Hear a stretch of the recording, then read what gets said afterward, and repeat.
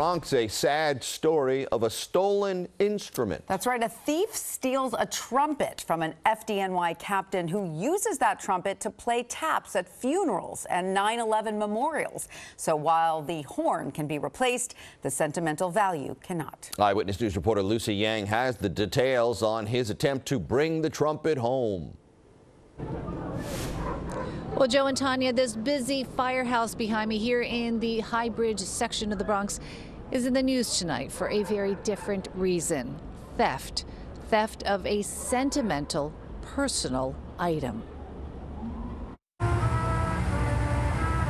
This is Captain Anthony Holtz with the New York City Fire Department. He keeps the city safe at night.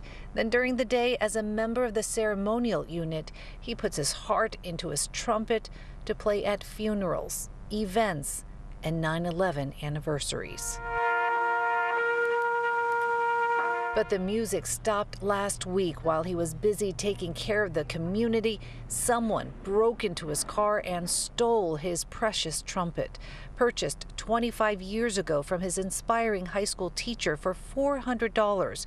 His teacher later passed, but the music continued. Over the decades, Captain Holtz has brought so much joy and comfort to others.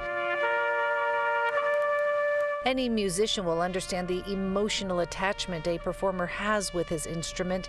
Captain Holtz desperately wants his beloved trumpet back. Not angry or anything like that. Um, not looking to get anybody in trouble or press any charges, but just would love to have uh, have that trumpet back. Well, his trumpet might be worth about two or three thousand dollars on the market today, but for this fire captain, it's not about the price tag. He just wants to breathe beauty again into the instrument that helped him become a musician.